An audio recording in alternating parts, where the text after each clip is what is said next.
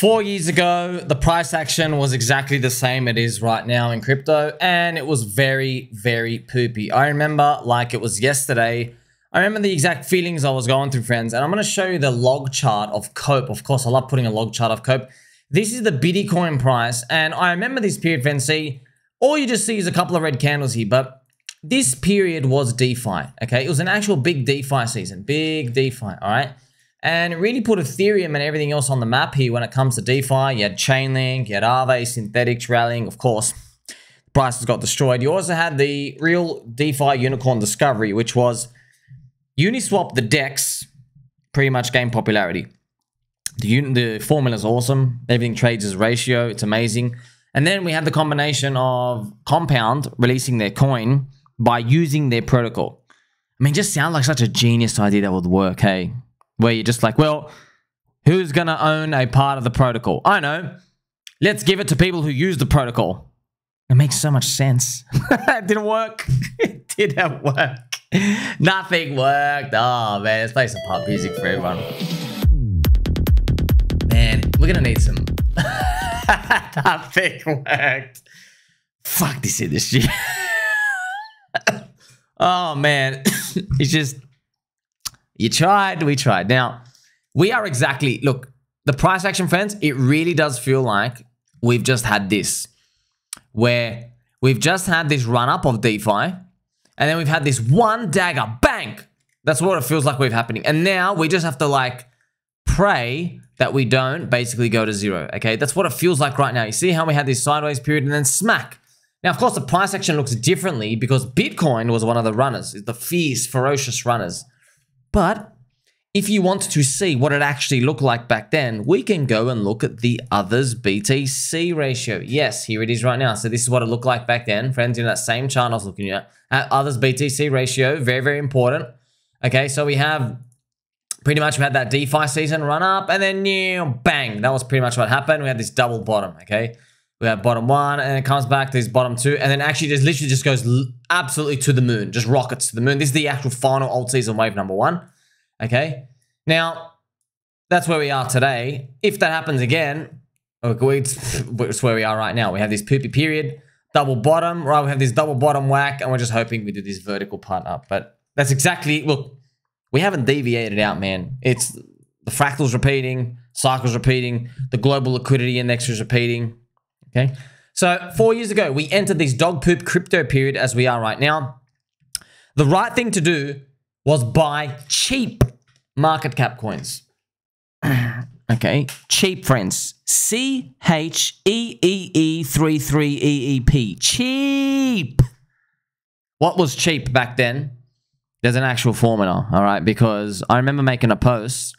It showed all these coins that went on to do a 100x from exactly four years ago coins like Matic, coins like Sand, coins like Mana. And, you know, I'm just, just going to show you, okay, what they ended up doing.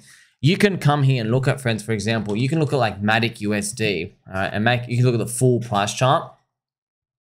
And yeah, man, that was pretty much what it was doing. And it ended up going absolutely ballistic. So if you want to have a look at the proper chart, you can log chart. I mean, you have absolutely insane, right? You have, wow, 182x. But you also have things like so yeah, one day Matic gives you the full uh, market cap for Matic. And here you go, Matic market cap. This is what you want to look at, friends. Now we're now we're actually cooking with gas. This is like really important. See that? Look what Matic was back then. You know, you're looking at 30 million to 100 million market cap. You know what I mean? So let's just do like, you know, around 60 million-ish. Look where that I'm growing to. All the way up to, what's this, 16 billion? That's huge, right? But Man, that's a unicorn winner. Once again, we can't anchor to that, man. That's alt layer one. Okay, Ethereum became too expensive and Matic positioned itself as Ethereum friendly. Right, and Aave chose Matic to deploy on there off the back of the season of DeFi. So, you know, but even even if friends, you looked at just like vaporware stuff that nobody uses anymore, like sand, the sandbox. I mean, this still went ballistic as well, right? You still have absolutely big numbers up here. Look at this. This is in 2020. So if you go back to that four year period, this is the poopy time. Sand launches. Oh man, that's wild. It does a 204x. That's crazy, man. And you know what I want to do, friends? I wonder if you can look at Sand's market cap. what I've actually had to do now is go to CoinGecko, friends. You see this market cap button? I've had to push market cap so you can actually see what it started off as. Look at this, 20 million. See these numbers down here? What we might do is, friends, might be a bit racist here. But you see, look at this. It was around 20 million market cap. So around here, shoots up to about 500 million. And in the final burst, this is pretty much it, goes to 5 billion. Wow, there's another 10x. This is very, this is very unlikely. You need a whole new season to appear that final 10x again. My man, look at this. If you go from 20 million friends to 500 million, you did a 25x. So from today. So it's like, yeah, obviously it's one of the big winners, but yeah, it's like basically your whole portfolio, everything you're holding today in that small category. It's like you're doing 25x. Okay. Now, obviously that, it goes on to do 200x, but once again, don't rely on that final alt season wave, that second one to appear because you just, you truly never know. Okay. And that's why I have here cheap was anything under 50 million market cap. It's truth, man. Everyone, you know, man, I know market cap, everyone expects these things to keep going exponential. Yeah, man, their growth rates just slow down. The bigger you are, the harder it is for you to climb on average. And we know that. We know that. We can keep hoping and coping, but we already see how tough it is to keep growing. But that's why, man, if you take the time to buy the cheap stuff, which is what we're doing, and then pray, there's a lot of praying, hopefully come out with a nice big fat moonshot at the end. But there are no guarantees, you know. And obviously, like friends, there's so many coins on Pulse Chain, right? Uh, you have, for example, Orange Man Good, Pika on Pulse Chain, all these friends. They're all in the cheap zone boxes. This is OMG. You have, there's heaps of others, right? You can even have Pika on Pulse Chain. It doesn't matter what it is. There's so, so, so many. You even have Dick with Bud as well. It's the same story everywhere accumulating and everyone's waiting to see, you know, what's the speed gonna happen, gonna do. Just tick a Bitcoin, Cult DAO, what's going on with Xen. There's so many coins, even on Ethereum land. I mean, I haven't even started on the Solana stuff. It's all about just picking a community that's gonna commit. Who's gonna be holding the, the megaphone and yelling, all right? Now, if you're able to win in those coins, friends, many of them were able to give, you know, the 20x to 400x returns let's just like calm it down though. Like uh, a 20x from here, that'd be really good if we're able to get that in pretty much in all our portfolios. But those are 20x in the real winners because like, man, we can go back, friends. I know. Let's just look at Litecoin, for example. Okay. Uh, uh, let's go look at Litecoin and I want to look at the Litecoin index over here which is it right now. And, you know, we can put on a log chart just to show you where was September 2020 it was around here. All right. So what did Litecoin do? This piece of crap from September 2020 to the top of the cycle, man, only did a 9x. Ah, see the discrepancy, man. So Sand and Matic, they do, you know, over 100x. Okay, they do a 100x. And then Poopy Litecoin does a 9. And you're not selling at the 9. Look at this. You don't sell at the nine. Look what happens, friends. Two weeks later, you're back down 70%. That's crazy, man. So you're only up 3x. Man, that's a nightmare, man. That, that sucks ass. You know, XRP, we know, got destroyed because of the, you know, SEC and stuff. But as well, from September, okay, all the way to the top, you only get a 7x from here. You know, if you want to look at Ethereum, so, you know, Ethereum as well was was fantastic. Look what it did from September to the very, very top of that first wave, that is an 11 to 12x. So as you can see, man, you know, all these coins, they were heavy market cap coins. Ethereum, Litecoin, XRP, they were heavy market cap coins. And yeah, there was the Solana winner. There were things like that. But yeah, it sucks. I mean, it sucks big time. Now, I'm going to show you Link, but Link was a special case because Link rallied in the DeFi year, okay, it actually, it did all of its bubble pop in 2020, the DeFi year, okay? So it was still able to go 5x from here.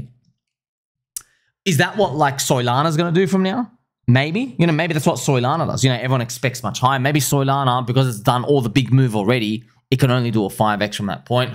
That's interesting. But then what will people do, friends? I, you just see it, right? They'll go to like Doge. They go, well, what, what did Doge do in that time? Wow, Doge did a 283x.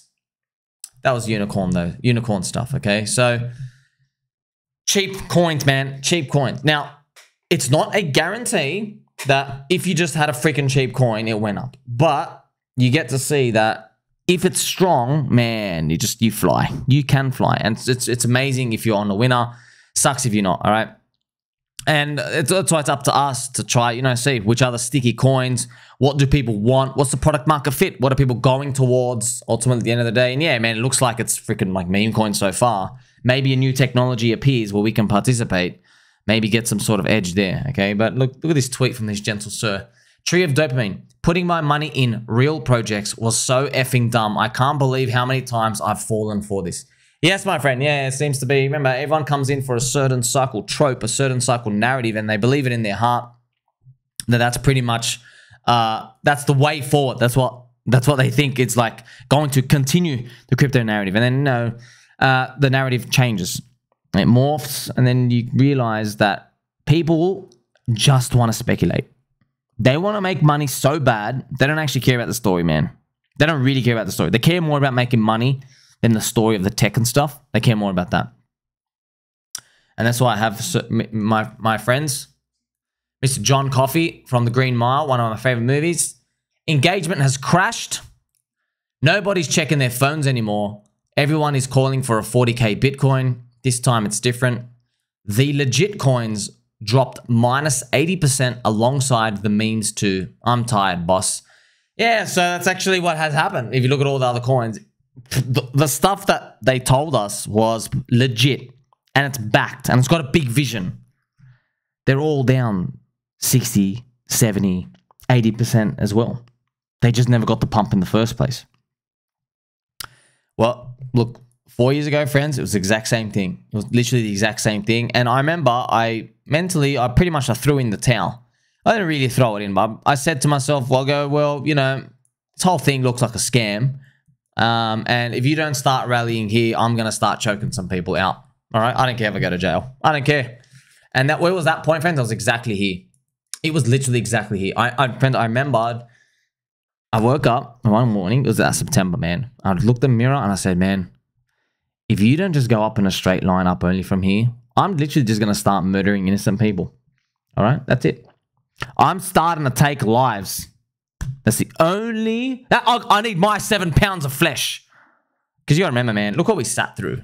Look what we sat through. Okay. Firstly, this was the premature ejaculation where Bitcoin goes up too high in June 2019. It's still gone nowhere for all this period of time. All right. But now it's post halvening, right? So here we are right now. That's about three, four months post halvening. And look, where we are right now. Look at three, that's where's 100 days post halvening. Oh, we're exactly right here, friends. We're literally exactly right here. So yeah, you better go up only, man. I don't want to start choking out puppies and innocent people out there. All right.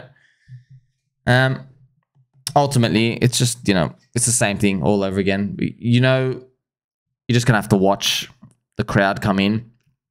There's gonna be different narratives that form. Different tech maybe like you know surprises people. Tech right, coins go up, people start buying stuff. You never know, friends. Like, look what happened with Nvidia. Nvidia went up that it helped push crypto AI coins. See? Because Nvidia hit 3 trillion market cap, man. So what if another real world event happens that just makes people want that theme in crypto? That's something funny. You know what I mean? Um, now, obviously, trying to guess that theme literally near impossible. Don't even try it. But I'm just showing you that uh, the the cycle's not over yet. It's exactly where we are four years ago.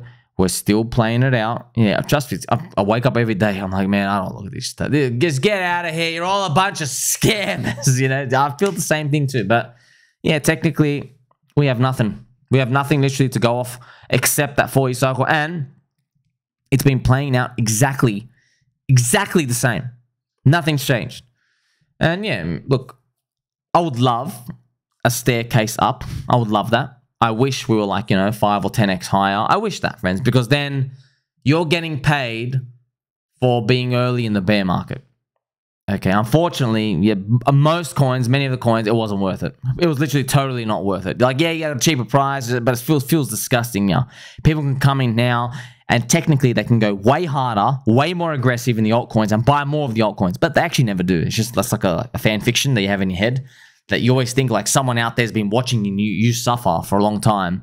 And then finally, after a year and a half, they have all the confidence in the world to come buy your poop coins and make all the money. No, no, they don't. They'll nibble, but they won't do that. Okay. There's no, no way people have been watching the whole way watching all this disaster. They can't imagine things start to just turn around, okay? So this is pretty much the Bitcoin price. I've already showed you in other videos, well, friends. Like, you know, Bitcoin going below $52,000 pretty much pings an extended bear market. You know, I mean, that's a, that's a weekly super trend, okay? And we are exactly where it was before. That I'd never forget that. It's September 2020. And obviously, what happens next? Well, what happened last time was Bitcoin starts to run up towards its high. Okay, it starts to run up towards its high. And I'm just going to show you the others BTC ratio. You see, last time, friends, it was actually here, right? So I'm actually going to show you where September is. It is September's around here, right? So altcoins were actually still high, right? Bitcoin ran up towards the high while these altcoins were dropping. So that's why the others BTC ratio, this remember it's a ratio, yeah? So how can this ratio go down in number? So I'll just show you right now right?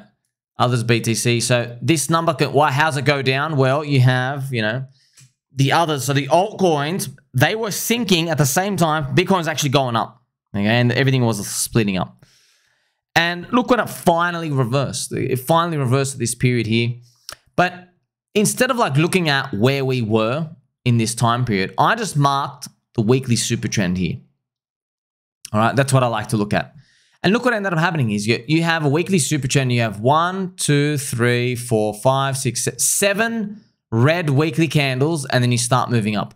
Another way to look at it is how long before we were kicking again? It was 84 days. So from when you flip red, it was 84 days. What about the cycle from before? Okay, when you flipped red, how long before the friendship came? When you flip red, it was, here you go, 77 days. So, I mean, like, we've seen how many times have we seen a symmetrical, exactly 100% prediction of these random things happen? Here we are, friends. We have flipped here. Where would like 80 days be exactly for us? It's literally mid-August. Okay, it's literally mid-August here. So this thing can go down as Bitcoin rises up too strong and then flush, flush up. Or man, you could just keep, just keep doing this. You could just keep doing that. But that's around that time period. Okay, you can actually see it right from the fractals here. You can actually see in the fractals. It's around mid-August. Yeah, it's about a month to go. Things start to turn around and start to go up. But you're not going to, trust me.